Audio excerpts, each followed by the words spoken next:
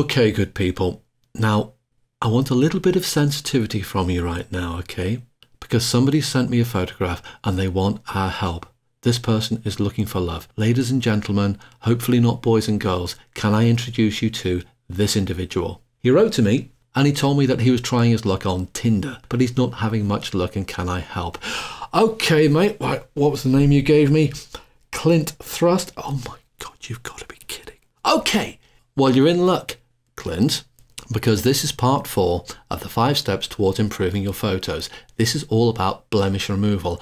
And I do have to say, maybe the reason our boy is not getting the success he would like with online dating is because you can see one or two spots in his profile picture. Let's come to, yes, magnifying glass is selected.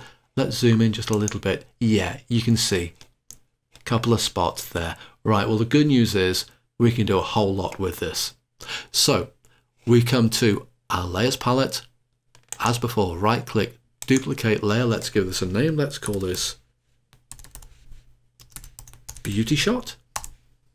And we'll work on this and we'll compare before and after. Now for this, you really should be working at 100% magnification. The way you do it, you can either come down here where it says one to one, that's 100% magnification. You could type it in here, or you can just come to your magnifying glass and double click. There you are, 100%. And while you're here, don't forget, use the spacebar, which converts to the hand tool, which means you can move your image around.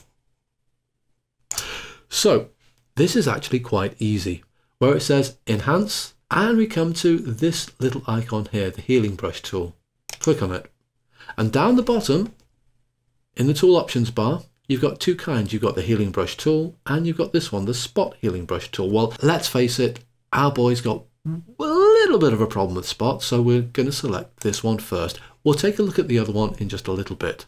And you come onto your picture, you get your little cursor. Can you see it?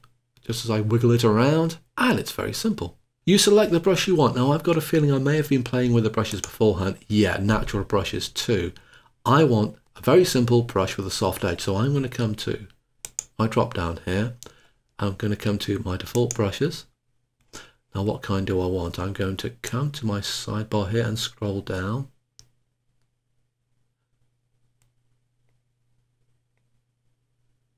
Yeah, any one of these would be okay. If I zoom right in, you can see it's got a soft edge. I want something with a pretty soft edge. So I'll select this one.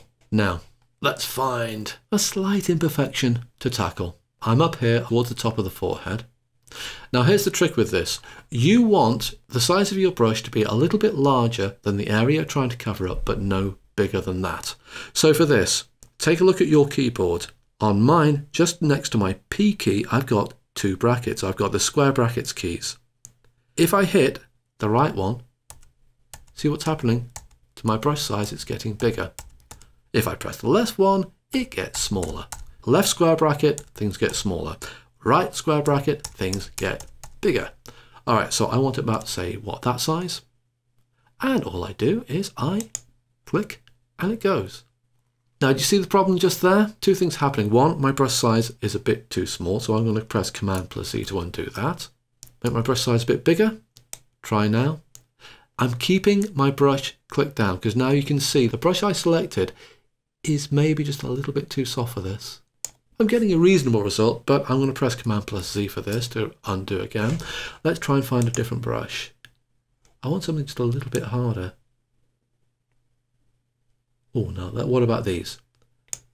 Let's try, say, airbrush pen opacity flow. Let's try selecting that one. It's 19 pixels now. I need it to be larger, but I'll make it. But I'll do that by just by hitting my square bracket keys and come here and click that's giving me a better result. So now all I have to do is just go around and it's actually quite therapeutic. Whenever I find a little bit of spot or a little bit of looks like stray dandruff here, I can just come through and I click and it goes away. How simple is this? Okay, for some of these larger areas, make my brush head larger and larger and a bit smaller for this one. So what's actually happening here? Oh, that didn't quite work. Let's try that again. Well, I can demonstrate that by coming to the other healing tool here, the Healing Brush Tool J.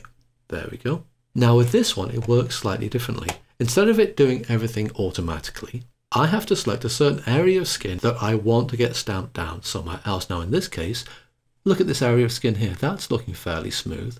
So what I do is I look for the Option key, Alt or Option, depending on whether you're on the Mac or the PC. You hold it down. You see I've got this little cursor, this little crosshair. This is going to be my sample point. And if I click there, wherever I move my cursor to, supposing I want to say to move this area, I'll make it a little bit bigger. Whatever was in that area is about to get stamped down here. But there's a difference. What it will do, if I come over to say over here, it will take the texture from my sample area, this little bit down here, this kind of smooth area, and it will attempt to put it down in a new area, but it will also attempt to match the colours that surround the area. Look, if I come over to this side of the picture here, you can see the light is a lot more yellowish. And sure enough, you can see that my sample area is looking really quite pink, but I'll make it a little bit smaller. If I click on, say, this point just here, click, you see it's taken the texture from here and it's matched that texture with the colours that surrounded the area I've just corrected. I'll do it for you again, just to make it crystal clear. If I come to say, you see these areas around here, you've got a more textured area. If I come to this area here, and if I press my Alt or Option button, I'll take a sample from this area here. You can see the hair there. If I was to take that and put that down here, and let go, you see what it did? Took that texture and matched it up with the surrounding colours, or at least it tried to. Okay, so that didn't work, so I press Command plus Z for that. But now that I've shown you that, you can see that if I try and take from, say, a smooth area like this area around here, where there's a fairly smooth texture, press Alt to select around here, then come over, maybe make my brush size a bit smaller, click, you get a better effect. Right, that's the principle there.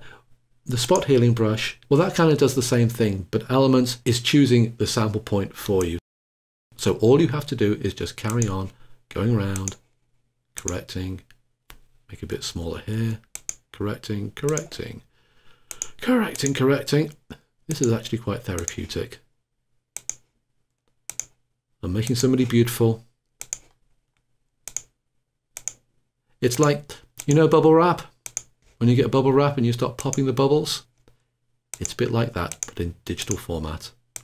And you're making somebody beautiful again. Now, you see this bit here, the wrinkles? Well, so look, instead of just going plonk, plonk, I can take my brush and I can drag it like this. Yep, it works on lines as well. Look, see, like this. This is a very quick and simple way to erase wrinkles.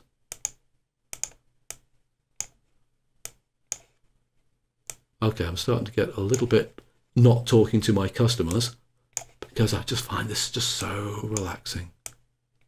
I'll tell you what I'm going to do. I'm going to fade out, fade back in again when I've made the various changes and so you can see a before and after. So I'll see you on the flip side of this. Okay, I must admit I am rather excited. I feel like one of those presenters off these radical makeover programs and they do the big reveal at the end, the before and after. Well, this is the before and after. This is before and oh, ladies and gentlemen, here we are with just one or two tweaks. And how much better is our friend looking? Now I decided to make this a fairly comprehensive makeover. Not that he needed it, me no. It's just I wanted to illustrate a point that you can keep going with this until eventually you start losing some wrinkles you can start to get a, slightly plastic appearance. Look, if I if I make this layer invisible again, you can see, okay, I've got rid of some of these slightly and slightly blemishes, but I also got rid of the various different wrinkles there. Now the wrinkles are part of a face. Also, I'm sure I probably got rid of maybe one or two birthmarks there. But things like spots or zits, whatever you want to call them, sure, get rid of them because they are temporary. But you'll find a lot of professional photographers won't remove permanent things like birthmarks. They're part of who a person is. And also with the wrinkles, yeah, sure, you can get rid of a few of them, but eventually you can start to alter the shape of someone's face. Take this, for example, come back to spot enhance, I'm in the right layer, that's good. Just supposing for the sake of argument, I got a bit trigger happy with the spot removal. And supposing I started to remove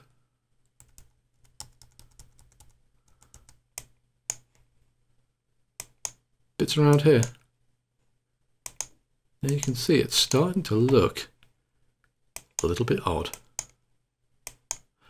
Okay, I won't keep on going with that because, well, you can see the general principle. Okay, and now just a couple of very final pieces of advice. All right, now I've done here the classic thing that everyone does. If I come down here, press my space bar so I get my hand moved down here. I did the face, but I didn't do the hand. Look, I've got one or two little marks there, which maybe I'd want to get rid of. Maybe I don't, I don't know. The very final thing, Clint, if that's your real name, okay, look, I can tell you why you're not getting the results you would like on Tinder. That is a wedding ring there, Clint. You're married. Rookie mistake, mate. Rookie mistake.